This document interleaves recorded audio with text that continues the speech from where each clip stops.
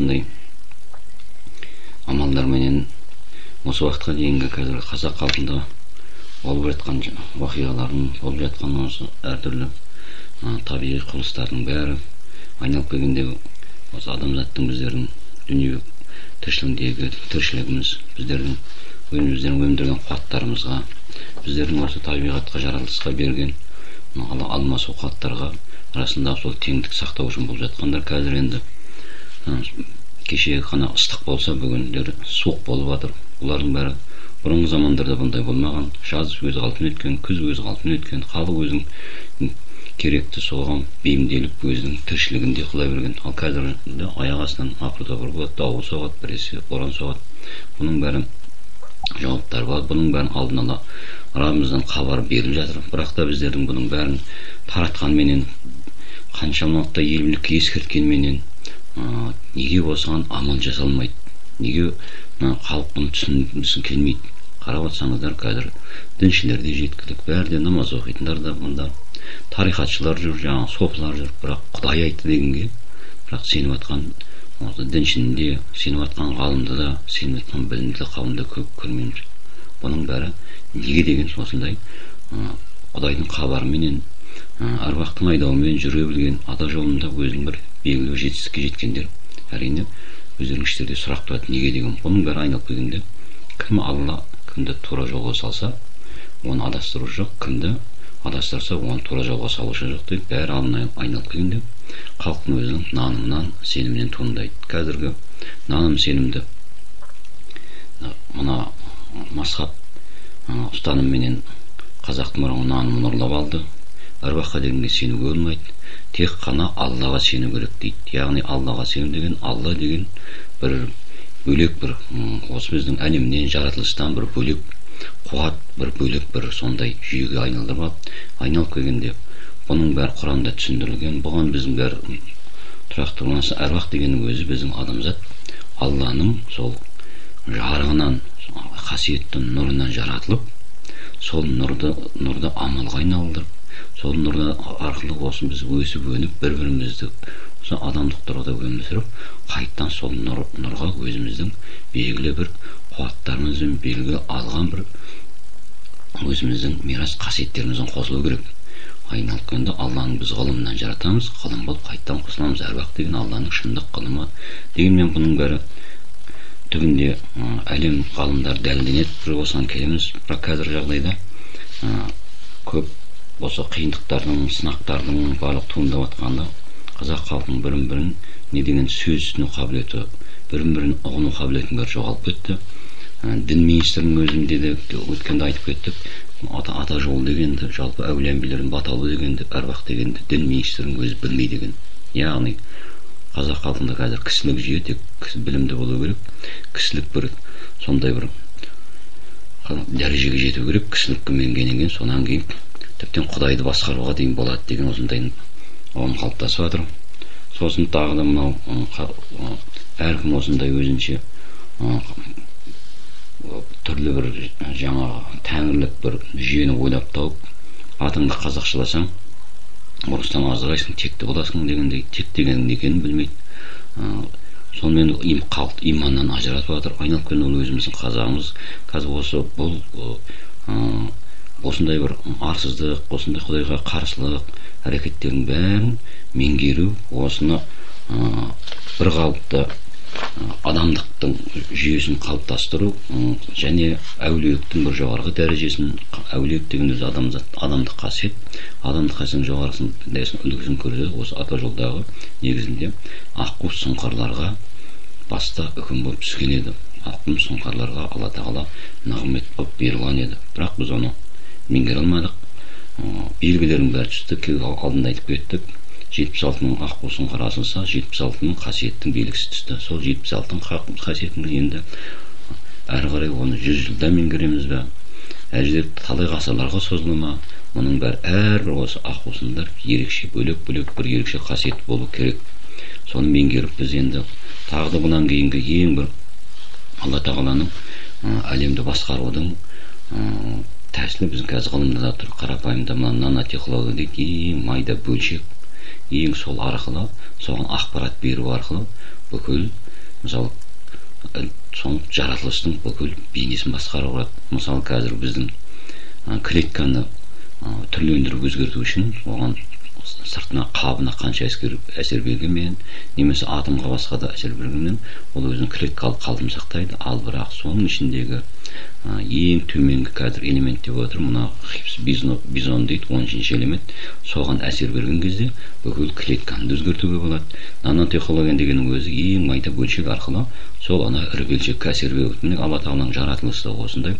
Мына әлемді жаратты ең үлкен бір клетка әлемді. Соның ішіндегі ең майда бөлшегі өзінің нұрын адам қылып жаратты. Сол адам арқылы әлемді өзгертуге әлемді сол бейімдеуге адамзаттың сол өз өміріне үндегі біздегі ақпарат арқылы алла тағала адамға берген ақпарат ол әлемді өзгертіп отырады. Сол сияқты енді әрбір адамның өзі әрбір пенденің өзі өзінің ата бабасын өзінің қауымын өзінің сол аруақтық жүйесін өзгерту арқылы біз әлемге де өзгеріс енгізе аламыз біз әлемге қуат қоса аламыз. Сондықтан ата жолында ең басты мақсаты бұл енді қасиетті меңгеру бар. Неше түрлі мынау осы білім өнер саласында ғылымды меңгеру бар. Осынау құдайлық нұр арқылы құдайдан келген ғылым арқылы әлемге ғылымның қуаттардың көздерін ашу. Адамзаттың ең бір жоғары құндылық екенін дәлелдеу болса сол енді қазір біз қазақ халқында болып жатқан неше түрлі салафизм дейді неше түрлі біріншілік жаңа айтқандай өзі атыңды қазақшала деп біреулер өзіндері жынданып жатыр. Екінші біреулер мына латын таңбасын ауырсақ болса ана тілін сақтаймыз дегендей деп осылардың бәрі құдайдың үкіміне құдайдың осындай беріп жатқан нығметіне адамзаттық жүйесіне оның бәрі қарсылықтар. Бұны іблістен деп атады себебі біздің кер жазу кер таңбасы 553 жылы мұсылман тайпасыменен пайдаланылған бұның алдында айтып кетті бұның белгілері бар егер бұған егер біз латын таңбасының өзін қазір былайынша қолданғанның өзінде бізде осы көп жағдайда біз рухани тұрғыда біздің ата тектен ажырау бастайды яғни күнәлі күнәлі лағнет етілген нәсілдерге жалғану болады сегіз сенім әлсірей бастайды тозақ тозақтағы тұрған жындарға көмекшілікке тұрамыз мінекей. Бұның бәрі қазақ халқын төмендету болып тұрады. Сол сияқты мына қазіргі оп ек деген жалғауларды алып тастағанның өзінде де біз сол мына әкеміздің аты қайрат болатын болса қайратов болатын болсақ егер оп десе қайратов біз қалай да ол енді қайрат деген неше түрлі өмірден өткендер бар неше түрлі осындай бір қарғыс салқан тағдырлар болады біз кез келген тағдырға жалғанудан бөлектеніп тұрамыз. Мына орыс халқының да өзі бұл ғылым. Орыс халқын біз қазақ халқындай бір ә, кезінде мәдениетті бола алған жоқ. Ә, сондықтан кезінде бұл орыс халқында мына арақ ішу неше түрлі азаптар болды. Бірақ осылар иванов петров деген сияқты сол оп арқылы өздерінің ата тегіне кез келген мынау жамандыққа жалғануынан ораз сақтанды. Осы жүйені қазаққа ауыстырды. Енді келіп біз бұдан келіп ә, иманымыздан өзімізден ажырап жатырмыз бұны әруақтар ескертіп жатыр сондықтан ата мұны айтып жатқан себебім ата жолындағы әрбір өзінің қасиетін меңгеруге тиісті бұл ата жолына аруақтардан берілген тапсырмалар міндеттер орындау керек. Сонда ғана ол ә, мойынсұнған болып құдай патшалығына енген болып саналады. Сонымен бірге қазіргі ата жолының ең басты мақсаты біз қалай да осы өмірге өзіміздің тағдырымыз түзумен бірге сол тағдырды енді оны өмірге жарықты алып келу яғни ұрпақ алып келу. бір ұрпақ арқылы мысалы бір біз қауымымыз қаншама жеті атадан бері келе жалғасып келе жатырмыз да бірақ қарап отырсаң сонда біреу екеу ғана бір ұрпақ қалады бір екі жүйе ғана осындай айналып келген қалған сол жеті атадан бергі қаншама бұтақтардың бәрі жоғалып кеткен. Бұлар не? Осылардың бәрі әртүрлі жағдайға түскен әртүрлі тағдырдың қайшылығына түскен қасиет меңгермеген айналып келгенде бұның бәрі әруақ болып тұр. Ал оған оны өзгерту үшін бұны тек қана өмірге текті ұрпақ алып келу басқа өзге тектерге жалғану. Міне осының бәрі әруақтардың қазіргі біздерге осындай жетелеп қасиеттің жоғарғы дәрежесіне шығарудағы мақсаттың өзі де өмірге наматтық тұрғыдағы нәсілдерді алып келу. Сол арқылы міне қазақтың болашақ тегін қалыптастыру қалашақтың болашағын қалыптастыру болып табылады. Енді біздің қазіргі негізгі көп жағдайда осы аққу сұңқылардың бастағы ақылдың кезінде қалыптасқан сауап арқылы яғни жақсылыққа жетуге болады деген бір қағида қалыптасты. Әрине бұның бәрі сол кезде атқарылды. Көбірек адамдар шығарған көбірек зираттатқан жұртқа бір шамалы да болса ата жолын түсіндірген ол жағдайда үлкен бір енді науқандық тұрғыда болды да соны аққу сұңқарлар жарысып жарысып кетті тек қана біз адам барсақ жақсы боламыз деген. Бұлардың бәрі қазір енді теріске айналып ауырған адамдардың бәрі қазір көбісі ата жол туралы жиренетін болды. Ешқандай толық мағлұмат алып жатқан жоқ. Я бір қуаттық не жатқан я бір тағдырлар тазарып жатқан жоқ? Бұның бәрі енді тоқтады. Әрбір аққу сұңқар болсын мейлі сарыарқа болсын кім ата жолына келді әуелі өз басының өз отбасының тағдырын түзеу керек. Енді ол сол тағдырды түзесін ол бірден түзеліп кететін бір нәрсе емес. Мұны сауап жасау керек. Ал енді сауапты қалай жасаймыз дегенге тағы осындай бір сұрақ туады. Бұл сұраққа қазір көбісі осындай қыспаққа түсіп жатқан аққулар бар осындай ағылдың кезінен асқан сұңқарлар бар осындай осындай кезде ата жолына қызмет жасап тағы қыспаққа бұлардың бәрі бір ақ нәрсе бұл шындықты тарату. Яғни шындықты халыққа жеткізу біз шындықты көбірек шығарған сайын жаңағы осындай біздің дін министріміздегі басқа жерде мүмкін қызметтегілердің бәрі ата жолының не екенін түсінбейді оқығысы келмейді. Бірақ оларды біз зорлап оқыта алмаймыз оларға біз ешқандай бір жалынып та басқа бізге қазір қалай да ата жолының хикметін арқылы ғана біз осыны көбейту арқылы ғана қазақ халқына алла тағаланың өзі бірте бірте сол үкімі түсе береді әр әулет өзі түзеле береді сондықтан әрбір аққу қалай да таза аққу болсын сұңқар болсын сол мына таза шындықтан хақиқатты халықтың арасына тарату керек. Енді оның бір қазіргі жоғарғы дәрежесі бізде қазір зікір зікір арқылы шындықтар түсіп жатыр біз жариялап жатырмыз. Сол сияқты әрбір келген аққуларға аян келеді түс келеді өзінің ол бірақ тақуалықпен байланысты. Егер тақуалық болмаса онда теріс ақпараттар келеді. Оның арасында былғанған лас жартысы сондай ақпараттар келеді. Олардың өзі егерде тақуалықсыз мен пәлен аян көрдім мен түген көрдім таратудың өзі ол өздерінің керісінше жан болады. Сондықтан бірінші мақсат осы біздің мына сұхбаттарымыз басынан бері баяндалып келген сол қағидалар сақталу керек. Сондай жағдайда ғана толық таза берген келген ақпараттарды халықтың арасына таратып отыру керек. Бұның енді ең бір қазіргі біздегі ең жақсы жолы осы құран үніне жалған құран үніне жалғану арқылы ол енді батадан төмен тұрғанмен де кез келген пенденің сырқат белгісін сырттан туған күнменен қойып соған таныстырып көрсетіп отырса ал сол сол алған пенденің сол шындықты жеткізген үшін алла тағаланың ризашылығына түседі жүрегіне дем түседі мына бұл басындағы қыспақтар сылына бастайды. Міне осыны меңгеру өзі қазір осы осыны меңгерудің жолында болу керек осы меңгерудің өзі бірақ оңай емес. Әр адам осындай бір қазір әрбір ауылда әрбір осындай мекендерде сондай біздің аққу сұңқарларымыз ордалар құрып тек осы осындай құран арқылы жұртқа толық дерек жеткізіп отқанның өзі бірте бірте біз халықты рухани ұйқысынан оянуға себеп береміз яғни ақтық шындық ақпарат көбейтеміз. Қазіргі заманға дейін біздің жақсы болып өмір сүріп келеміз. Қазіргі заманға осыншама жерді осынша байлық жасап жатқан кезіндегі біздің ата бабаларымыздың барлық сөздердің бәрі шындықпен байланысты мейлі өлең болсын мейлі жыр болсын мейлі қандай болсын сол шындықты тарата берген. Яссауиямыздың хикметінің өзі жаттап жұртқа айтылған сол хикметтен бүкіл шындықтар тараған. Сол шындықтың бәрін қазір енді көп жасы жабық жатыр. Сол шындықты меңгерген біздің әулие әмбиелеріміздің бәрі бастары толық көтеріп болған жоқ. Біз олардың бәрін зираттап дұрыс біз сол ақпаратты алып жатқан жоқпыз. Айналып келгенде осындай рухани байлық қазынамыз біздің көктен түсіріліп жерден өндірген осылардың бәрін қазір бұлақтардың көздері анау жабық тұр мінекей. Бұлақтардың көздері ашылмай жатыр. Осы бұлақтардың көздерін ашу арқылы біз халықты рухани оята аламыз. Қалай да болсын ел билеушілер болсын мына масхаб болсын мейлі мынау тарихатшылар болсын айналып келгенде бұлардың бәріне деді иманды беретін де алла тағала айналып келгенде біздің бәріміз бір қазақ ағайынды болғаннан кейін бір бірімізге осындай қуат қосатын дәрежеге жет, жетуіміз керек. Сол қуаттың негізгі көзі бұлағы ата жолында тұр. Әрбір осы ата жолында тұрған ата жолында меңгермегендерді де осы қазір біздерге хабарласып жатыр. Маған бір бір жігіт хабарласса мен әдебиетші едім осы шәкәрім атамызды зерттеп ізденіп жүр едім. Сонан сіздің жазбаңызды оқыдым. Мен сонау өзім сауалдарыма жауап ала бастадым дейді. Әрине бұл енді ол құранның үні деген әркімнің өзінің жүрегінде бар. Сол өз үніне сәйкесті екінші жартысын тапқан кезде адамда осындай бір ерекше бір сондай жағдай болады. Жалғана бастайды түс көре бастайды түсі түзеле бастайды сол үн іздене бастайды шабыт келе бастайды. Бірақ тағы да айта кететін жағдай бұл жазылып жатқан заман бұның бәрі бір жаратылыстың барлық мәліметі емес. Бұл өмірдің бәріне берген кілті емес. Бұнда тек қана біздің абай шәкәрімге балаларға шығатын есік үні ғана ол үнді жалғау.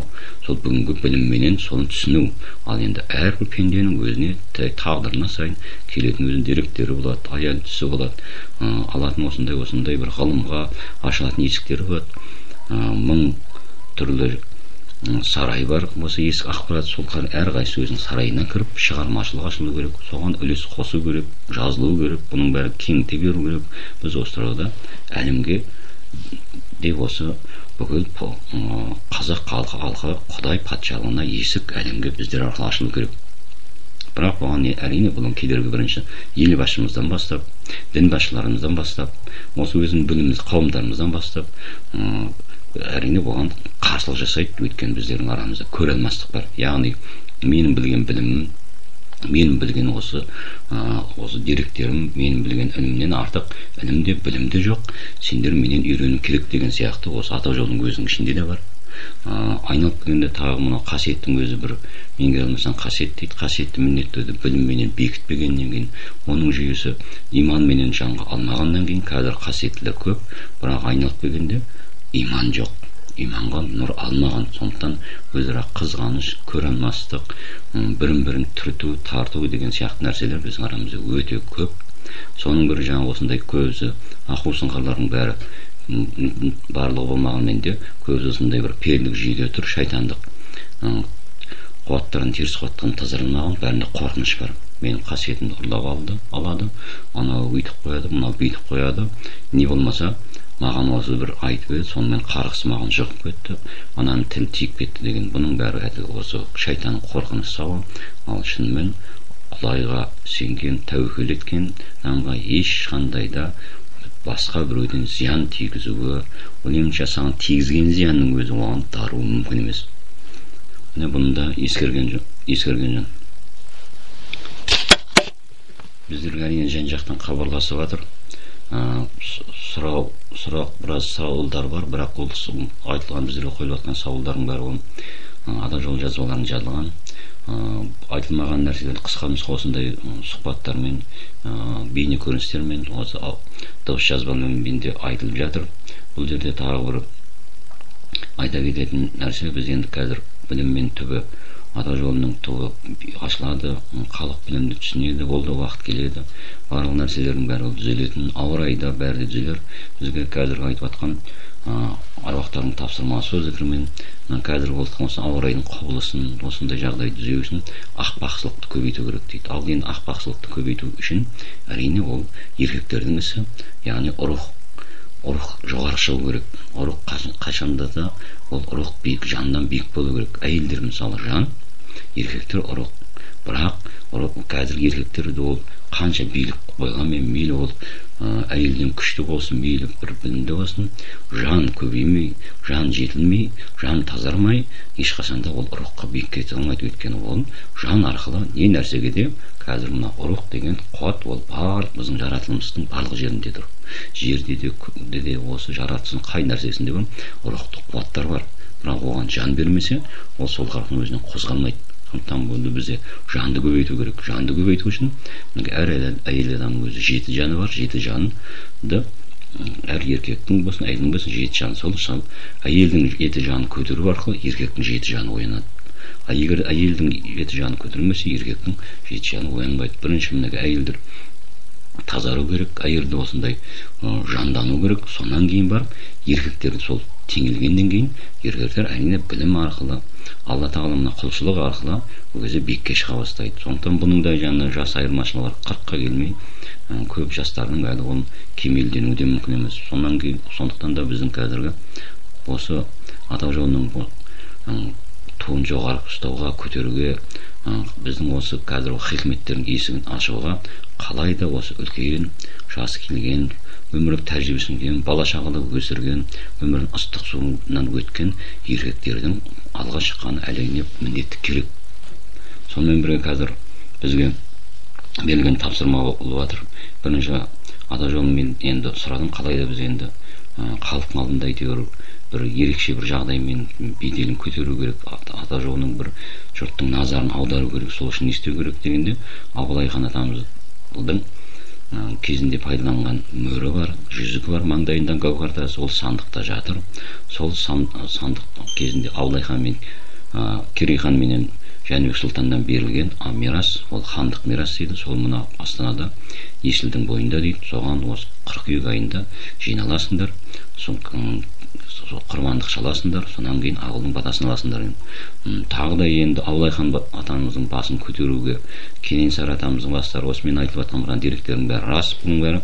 Соны істеу үшін тағы да бізге рұқсат беріп жатқан созақ бабамыздың басын көтеру керек. Қазақ пен созақ бірге туған созақ бабамыздың басын көтеруге де осындай сол аянмен жетеленіп жатыр. Көп аққулы сұңқарлар бірақ біздің енді көп жағдайда кезінде аянға онша жоруды әркім өзіне қалай болса солай жорылды.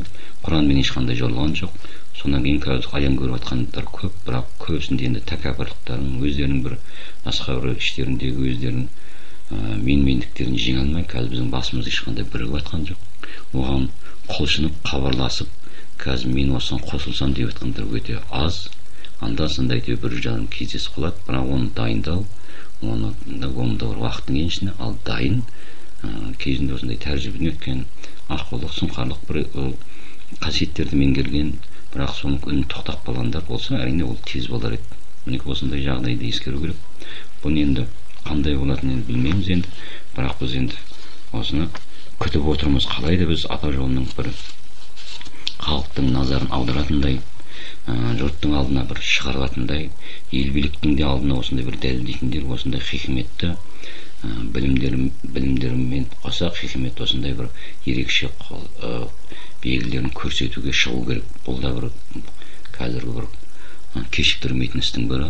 Созақ бабамыздың басын көтерсек абылай хан атамыздың басын көрсек сандықтан әрі қарай жалғаса береді жалғаса береді. Кешегі кейкі батырдың өзінде де хабарын айтып басын тазарту керек деді оны бір жыл болды қазір ешқандай хабар болмады. Содан кейін ендігі жылы көктемге оны шегеріп тастады яғни ол сол кейкі батырдың өзінің зиратын тауып сол жердегі ауылдың өзіндегі ақ болсын қар болсын басқа болсын соларды аян арқылы тазартып жалғауға болады. Оған бола сырттан бір көріпкел іздеудің ешқандай қажеті жоқ. Әрбір ауылдан әрбір осы қыстақтан әрбір тіптен көшеден өздерінің сол өзінің қасиетті ұл қыздарын дайындайтын қазір уақытың осы жетті. Сол арқылы ғана біз енді ата жолының абыройын көтереміз. Ата дәстүрінің қазақ халқының осы дін дәстүрінің әлемдегі ең жоғарғы дәрежедегі ақиқаттың бір есігі болып табылатынын дәлелдеуге біз жолға шығуымыз керек.